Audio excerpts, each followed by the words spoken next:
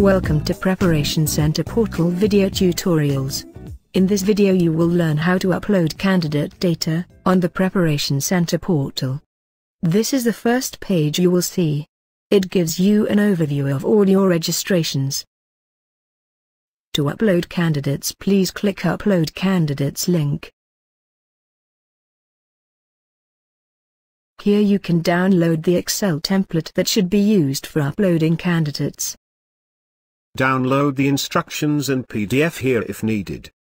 Please note that the following are mandatory fields, title, other name, family name, date of birth, all address lines and country. It is essential that you only use the template provided to bulk upload candidates for one exam format and not multiple exams. Select location where the preparation center will like to run the exam at Preparation Centre venue or at the British Council venue.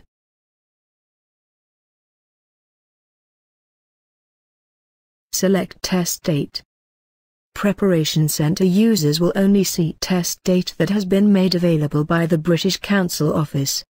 Please inform British Council Centre, if desired test date is not available. Price will appear above the next button. Discount price will appear, if applicable. Press this button for next step. Your choice is shown here. Please ensure that you note this to upload the correct candidate data to the system. Now click Choose File. You should then locate the template you downloaded and filled with your candidate details for this exam and date. Select the Excel file to upload. Again make sure you have upload the right candidates to the right exam. To view terms and condition click on the word terms and conditions and tick to agree to British Council exam terms and conditions. Click confirm. A summary message appears. If your data was missing any information the message will showcase unsuccessful upload. After the upload please go to review uploads.